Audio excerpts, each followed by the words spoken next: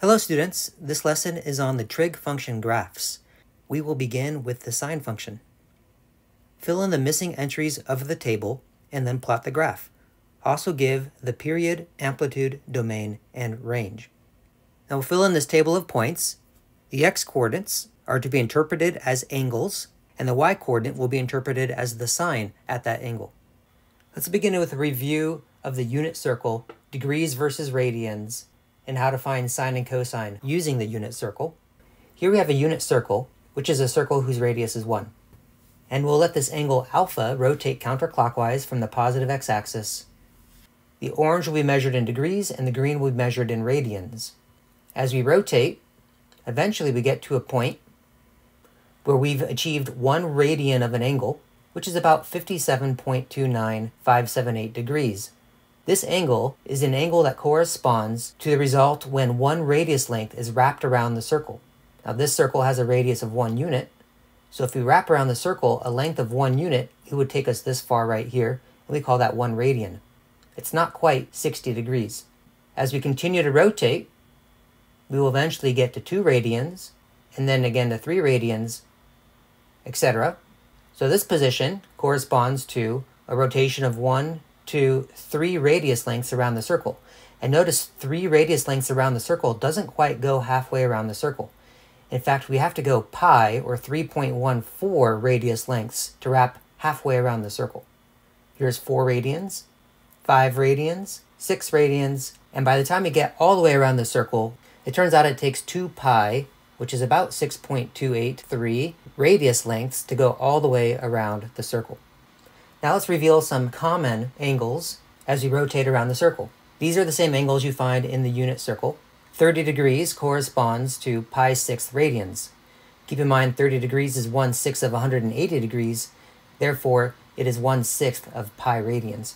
Further recall that if I pause at an angle such as 47 degrees, or approximately 0.82 radians, the point on the circle reveals two coordinates, which are the cosine and the sine of this angle, respectively. So the first coordinate you see here, 0.682, is the cosine of 47 degrees, and the second coordinate, 0.73135, is the sine of 47 degrees. If we want to rotate to a common angle, such as 30 degrees, we get that the cosine is about 0.86603 and the sine is exactly 1 half, or 0.5. Now this program I'm using does not always give exact answers for cosine and sine at different angles, but at the common angles, we can find exact answers by using the unit circle. So let's begin to fill in this table. When x is 0, so when the angle is 0, we look to the right of the unit circle, and the sine of that angle will be the second coordinate, which is 0. So we say that the sine of 0 is 0. At the next angle, pi sixth, which is 30 degrees, and in radians in decimal form, pi 6 is approximately 0.524 radians so it corresponds to a little more than a half of a radius length rotated around the circle. Looking at the unit circle, we focus on pi 6 radians, and we look at the second coordinate, so the sine of pi 6 is 1 half. Moving forward, I'll just put the result in my table. Pi 4 corresponds to 45 degrees, and it's about 0.785 radians. Pi 4 is here, sine is the second coordinate, so rad 2 over 2. This is an exact representation of the sine of this angle, and it's about 0.707. Pi thirds is about 1.047 radians. It also corresponds to 60 degrees. And the sine of pi thirds, look to the angle pi thirds, look to the second coordinate, radical 3 over 2, which is approximately 0.866. Pi halves corresponds to 90 degrees, so that's a quarter rotation around the circle. In decimal form, that's about 1.571 radians. So a little more than one and a half radius lengths rotated around the circle will get you to a quarter rotation around the circle. And the sine of pi halves, find pi halves in the unit circle, sine is the second coordinate, exactly one. That's the most that the sine will ever be, because that's the highest point on this unit circle. By the time we get to pi, that corresponds to 180 degrees, and pi we know is about 3.142. And the sine of pi, find pi in the unit circle, it's the left side of the unit circle, second coordinate 0, so the sine of pi is 0. 3 pi halves is pointing straight down in the unit circle, right here. Second coordinate is negative 1. This is the lowest that the sine will ever be, because it's the lowest point on the unit circle. And 3 pi halves is about 4.712 in decimal form. And finally, 2 pi is back pointing to the right, the sine of 2 pi is the same thing as the sine of 0, and it's 0. And 2 pi is about 6.283. Now you notice in this table, we did not use any angles here in the second quadrant, nor here in the third quadrant, nor here in the fourth quadrant, but we could have and simply plotted more data points. But using the data points that we have, keep in mind we're interpreting the x-coordinate as an angle and the y-coordinate as the sine of that angle. When the angle is 0, so is the sine, and we have the point 0, 0. By the time the angle is increased to pi sixths, or approximately 0.524 radians, that the sine will have increased to 1 half. So we get the point pi sixth, comma, 1 half. By the time the angle increases to pi fourths, now pi fourths is halfway between 0 and pi halves. That puts us at an unmarked location right here, and when the angle is pi fourths, the sine of that will be rad 2 over 2, which is about 0.707. Now keep in mind this vertical scale, each horizontal gray line is 0.2 units, which is why 0.707 is about that height. And then the angle increases to pi thirds, at which point the sine becomes about 0.866. And by the time we get to an angle of pi halves, the sine is increased to its maximum of 1. Now as the angle increased from 0 to pi halves, as we rotated around the circle, the y-coordinates went from 0 up to 1. So we expect an increase that levels off as we get closer to the peak. The other points of data from our table correspond to angle pi, at which the sine is 0, angle 3 pi halves, at which the sine is negative 1, and angle 2 pi, at which the sine is 0. Now, if I had included more data points from the other quadrants, you would have seen a pattern that produces a shape such as, and this creates a graph of the y equals sine of x function, or using function notation, we can say f of x equals sine of x, as x varies from 0 to 2 pi, and the interpretation of x is that it's the angle. Now what happens when x goes more than 2 pi, or when x is negative? As x goes past 2 pi, we continue just to rotate around the circle, so we expect all the same values of sine to be repeated. So this wave will actually continue and repeat exactly what you see here for every interval of 2 pi. Same thing going backwards. Let's examine what's going on here. Here's a unit circle again. This time I'm only going to measure my angles in radians. Here's an angle that's 1 radian, meaning we've gone one radius length around the circle to here. Here are the coordinates at that angle. The second coordinate is what you want to focus on because that is the sine of the angle. Down below I have an axis that represents the different angles measured in increments of pi fourths. So pi fourths, Another pi fourths takes us to pi halves, then a 3 pi fourths, then to pi. So that corresponds to half the rotation around the circle. And by the time we get to 2 pi, we've done the second half of the rotation. Here are the whole number breaks. So 1 radian is a little bit past pi fourths. 2 radians, 3 radians, which is just short of pi, which is about 3.14 radians, 4 radians, 5 radians, 6 radians, and then a little extra to get to 2 pi, which is about 6.28 radians. Now I'm revealing the graph of the sine function. So this second coordinate, 0.84, corresponds to this green height. That green height in this graph is the same. We still use the 0.84. But as the first coordinate, we use the angle at which we are. So from this picture, there are three numerical values that are relevant to the location of this point. One is the angle at which we are. One is the x-coordinate of this point, meaning that how far from the origin to the right do we go and the other is the y-coordinate of this point, which is how far up or down do we go to get to that point. And of these three numerical data points, we're going to take two of them and make a new point. We're going to take theta and call it my new x down here. And we're going to take the second coordinate, which is a y-coordinate in this graph, and also use it as a y-coordinate in this graph. Now observe what happens as we continue to rotate. If I pause here when theta is 2.68 radians, the second coordinate is about 0.45. That's the sine of 2.68 radians. And taking the angle measurement as the first coordinate and the sine as the second coordinate, we get this point here. Continuing to rotate. Pausing here. This time we have negative y coordinates because we're in the third quadrant.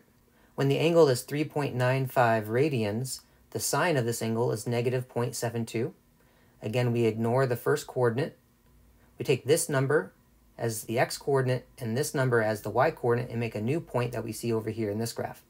The fact that this line segment is in red is simply indicating that we have a negative value. Continuing to rotate. I'll play this again and pay attention how the data from this graph is being used to produce this graph down here as a separate graph.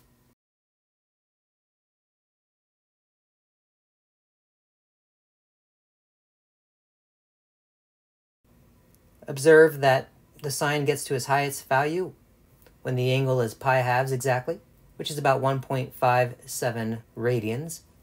As we rotate to angle pi, the sine is 0 because the angle pi is the left side of the unit circle. That's height 0. As we rotate closer to 3 pi halves, that corresponds to 270 degrees, or pointing down at the bottom of the unit circle, whose height is negative 1, and that's as low as we will go. And then as we rotate to 2 pi, we get back to a height of 0. Notice down here we're saying f of theta equals sine theta. Well, theta in this position is the input variable, and it is a dummy variable, meaning you can really use any letter. So you could change this theta to x and this theta to x, and say f of x equals sine of x. And this would produce the same graph, assuming that this horizontal axis represents that independent variable. Now as we rotate past 2 pi, and if we do negative rotations and corresponding to negative angles, this wave will continue to repeat itself. And we get what's called the sine wave. Now this portion of the sine wave just continues to repeat itself. And horizontally, this window has a length of 2 pi units. In fact, any point you pick on the sine wave, such as here, you would need to draw this much of the sine wave to complete one cycle. Again, that's a horizontal distance of 2 pi. From low point to next low point, again, a distance of 2 pi. Here's another portion of the sine wave that just repeats itself. Again, a horizontal distance of 2 pi. So we see that the sine wave is periodic, meaning it just repeats itself, and that the period is 2 pi, which means you need a horizontal distance of 2 pi units to complete one cycle. So in our notes, we say the period is 2 pi. Now the amplitude is a feature of the sine wave, the amplitude is the maximum displacement from the midline. The midline in this case is the x-axis. And the sine wave goes equally far above as below, meaning the maximum displacement vertically happens here and it's a length of one unit. The maximum displacement vertically, but in the negative direction is right here, and again, it's one unit. So in other words, the sine wave oscillates between a height of negative one and a height of positive one, but we say that the amplitude is one. Now the domain of this function, the sine wave goes forever left and right. Any angle can be used as the input. Negative angles make sense, and angles more than 360 make sense. You just continue to rotate around the circle, either clockwise or counterclockwise. So because x, which is the input variable, can be any angle, positive, negative, zero, we will say the domain is all real numbers. This bold R stands for all real numbers, or you can write it in interval notation, negative infinity to infinity. And furthermore, we can specify that the domain is referring to the x-coordinate in this case, and this symbol here means is an element of. So this reads, the domain is all x such that x is an element of the real numbers. What is important is that we are interpreting x as an angle measurement measured in radians, not in degrees. The range is the range of outputs of this function.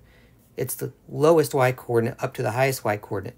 So we say y is an element of and then an interval notation from negative 1 up to positive 1, using brackets to imply their inclusion. Or you can also say that y has to be greater or equal to negative 1, but less than or equal to 1.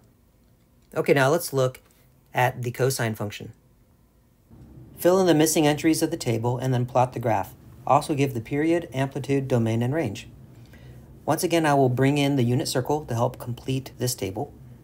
Again, we are assuming that x will take on the role of angle, and our goal is to find the cosine of x and treat that as a y-coordinate. So when x is 0, we look for the angle 0. This is the right side of the unit circle, and it is the first coordinate there that will be the cosine of that angle.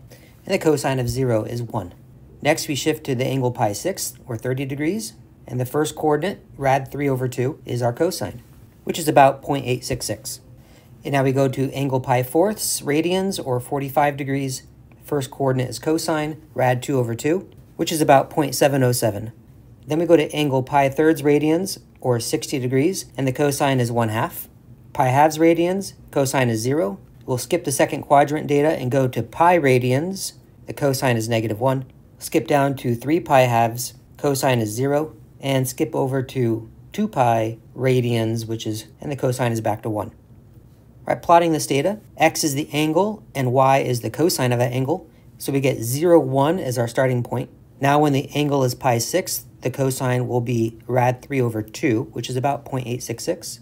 Pi fourths is this location, and when the angle is pi fourths, the cosine will be 0.707. When the angle is pi thirds, the cosine will be 1 half. And by the time we get to pi halves, the cosine is shrunk to 0. We get a curve, it looks like this. Now the other data from our table, if we had put more data from the second, third, and fourth quadrants into our table, we would get these points and then the rest of the curve. Now as x goes negative or x goes higher than 2 pi, this curve will just continue. Let's take a look at the cosine wave using technology.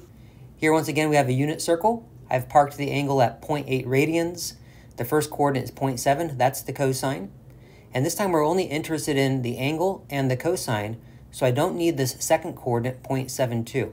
Now this 0.7 is the distance from the y-axis to the point. So I'm going to reveal the cosine graph. This green length, which is 0.7, is now going to become a y-coordinate in this new graph down here. So of the three numerical values relevant to this location, we're going to use the theta, the angle, as our input coordinate, and we're going to use this first coordinate, 0.7, as our output coordinate, and we're going to make this point 0.8 radians, and cosine of that angle is 0.7. If I move this radian to a different location, such as 1.1 radians, and we make a point out of 1.1 and 0.45. Again, we ignore the 0.89. So we have 1.1 comma 0.45. We have this location. You'll see this green X here. That's simply referring to the fact that in this image up here, this length is an X coordinate. And we're simply turning that X coordinate and reorienting it vertically. So this is the X coordinate from this image, but in this image, we're now interpreting that as a Y coordinate or vertical coordinate. Now drag the angle back to zero and then hit play.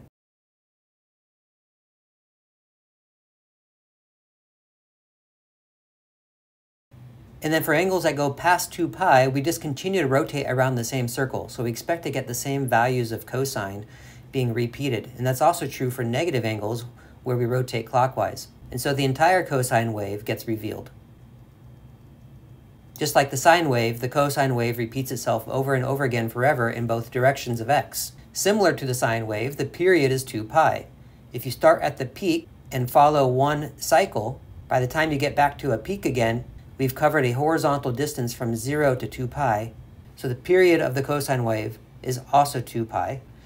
The domain will be negative infinity to infinity, and the range, the outputs of the cosine wave, will be from a low of negative 1 up to a maximum height of positive 1, both included. So the period is 2 pi, the domain is x must be an element of the real numbers, and the range is that y must be an element of the interval from negative 1 to 1, inclusive.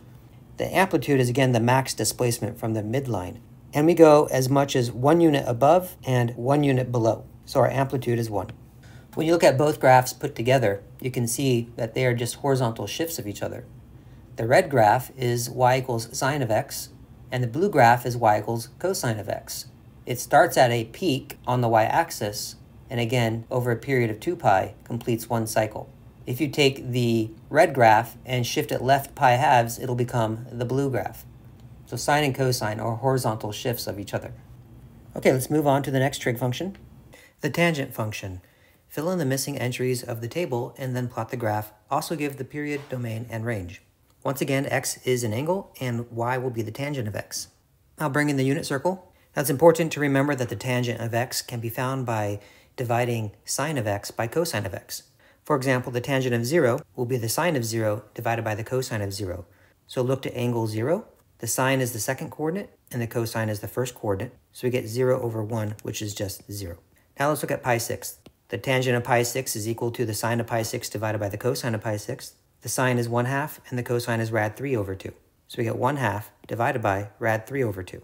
And then we will invert and multiply. So this is 1 half, and multiply instead by the reciprocal, which is 2 over rad 3. And that gives us 1 over rad 3.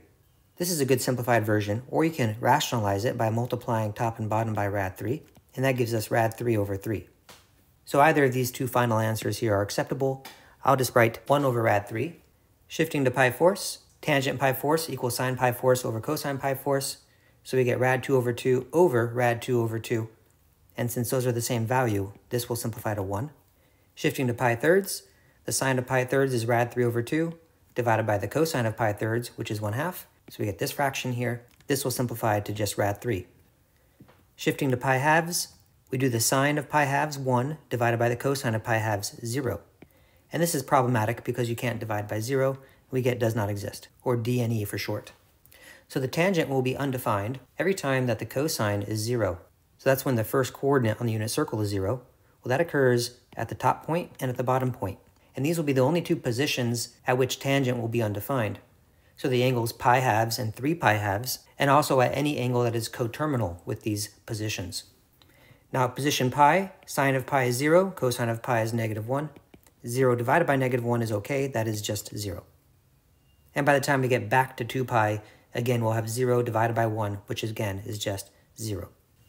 If I decimalize two of my answers here, we get these results. And let's talk about the domain. The tangent of x is undefined for any value x, where x is an angle corresponding to this position or this position. So our domain will be x cannot be pi halves. And if we add pi to that, that takes us to 3 pi halves. So it can't be pi halves plus pi either. If we add 2 pi, we'll rotate back to the same coterminal position. So it can't be pi halves plus 2 pi. In fact, if I keep adding pi, we'll just wind up at either the top or the bottom of the unit circle, which are positions where the tangent is undefined. So pi halves plus 3 pi, etc. Also, I can't rotate clockwise by pi, so I also can't do pi halves minus pi, or pi halves minus 2 pi, etc. So we can summarize all of these different positions with pi halves, 3 pi halves, and all of their coterminal angles by saying that x cannot be pi halves plus n pi, where n is an integer. This bold z stands for integers. And the integers are all the counting numbers and their negatives and zero. So dot, dot, dot, dot, negative 3, comma, negative 2, negative 1, 0, 1, 2, 3, etc. And this is a general way to describe all of these angles. Turns out that the tangent will have a vertical asymptote at all such angles. So in our graph, we'll have a vertical asymptote here at pi halves, another one over here at 3 pi halves, and then going backwards pi to negative pi halves, backwards pi again to negative 3 pi halves. So we have an asymptote in this position, and then moving forward by pi any amount and moving backward by pi any amount. Creates infinitely many asymptotes. The data in our table I can plot, 0, 0. Pi fourths is here, Pi 6 is to the left of it, pi thirds is to the right of it. Here's height 1, and we have this data so far. If we had plotted more data, we would wind up seeing a path between negative pi halves and pi halves that is something like this. And this will repeat between every set of vertical asymptotes. The graph repeats itself every pi units because one instance of this repeated graph occurs on an interval of x coordinates that's pi units long. And the range will be negative infinity to infinity because each portion of this tangent graph will follow an asymptote down and we'll follow an asymptote up. So all y coordinates will be possible. Now let's look at the graph using technology. Currently we are seeing the graphs of sine and cosine. The graph of y equals sine of x begins at the origin and completes one period or one cycle by the time we get to 2 pi, whereas the graph of cosine, which is blue, begins at the point 0, 1, which is the peak of a curve, and it also completes one cycle by the time we get to 2 pi. Now the graph of tangent will be undefined everywhere where the cosine graph is 0, because tangent is sine divided by cosine, and we cannot divide by 0. So every x-intercept of the blue wave will correspond to a vertical asymptote for the tangent graph. Here are all those asymptotes. And then the tangent graph will have an x-intercept precisely where the red graph has an x-intercept. And then here's the tangent. One key point on this graph is the point pi fourths comma 1. By symmetry, if we go negative pi fourths, we'll go down to negative 1. Okay, let's move to the next function, the cotangent function. The same instructions, let's bring in the unit circle. Keep in mind that the cotangent of x is equal to the reciprocal of tangent, and since tangent is sine over cosine, cotangent will be cosine over sine. So the cotangent of 0 will be the cosine of 0 over the sine of 0. 0 is over here, the cosine is 1, and the sine is 0. So this will give us 1 over 0, which is undefined. D and E for does not exist. At pi 6, the cotangent of pi 6 is cosine pi 6 over sine pi 6, where the cosine of pi 6 is rad 3 over 2, and the sine of pi 6 is 1 half. Invert and multiply, and we simply get rad 3. If we continue this, we'll get the following entries.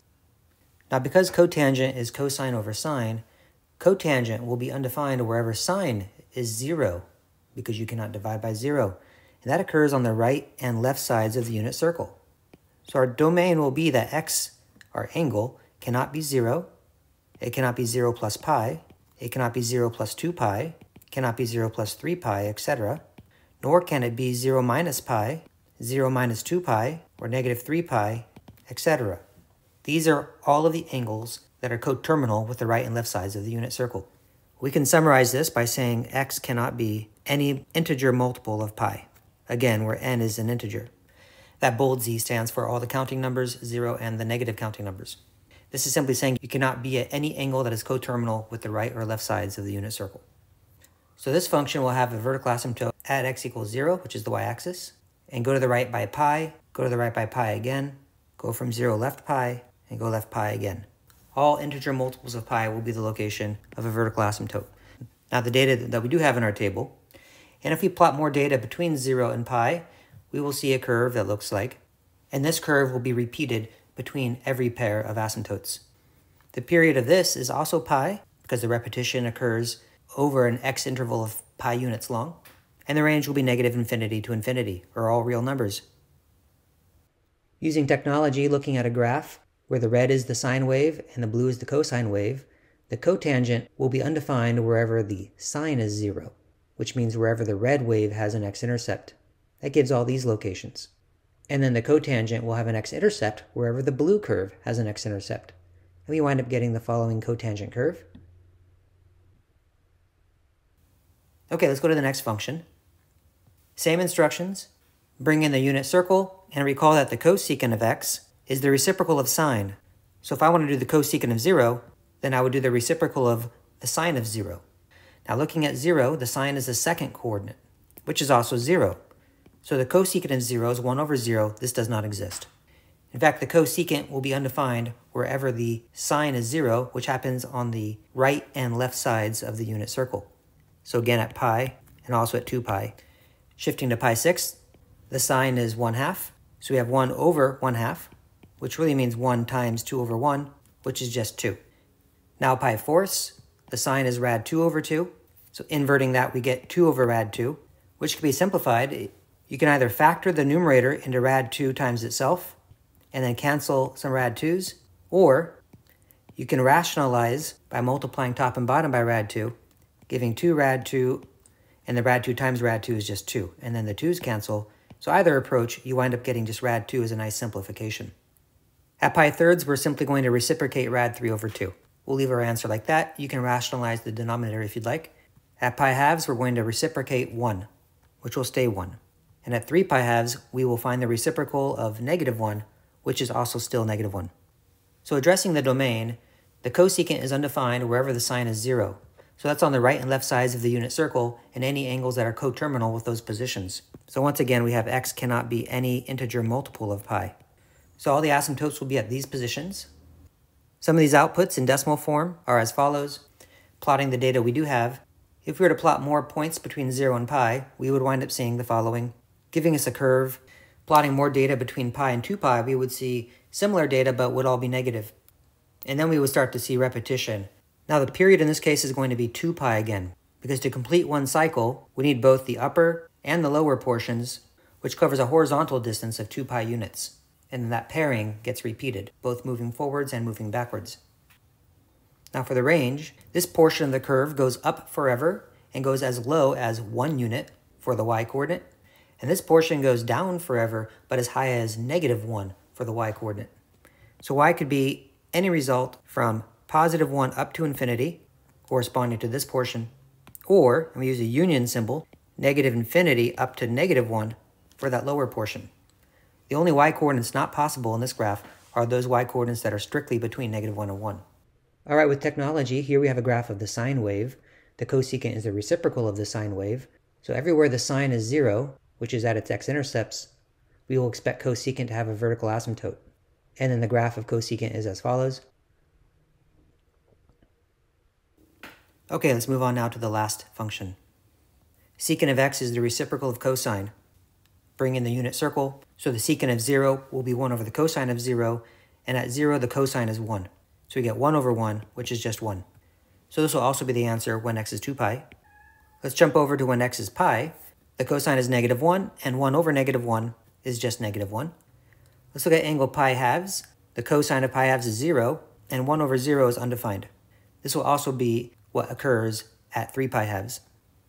So the secant will be undefined wherever the cosine is 0, which is at the top and bottom positions of the unit circle, which corresponds to x values of pi halves plus n pi, where n is any integer.